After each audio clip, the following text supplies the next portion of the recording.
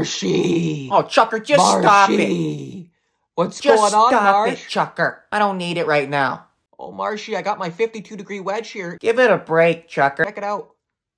I'll let you borrow it. If you don't get that 56 degree wedge out of my face, Chucker, let you borrow it's it, gonna get violent, Chucker. Or you're gonna get violent. I will get extremely violent with you, Chucker. If you don't get that 56 degree wedge out of my face, I will get extremely violent, Chucker. You're lucky I didn't just get extremely I violent. thought you were gonna play around with Chucker. Toe drag release. Oh, it was the toe Team drag TDR release hat. gets I knew it it. done in overtime. Toe drag I knew I should have got one of those toe drag the release lucky hats. TDR bucket. Marshy didn't tell you about it. It's on CoachChippy.ca.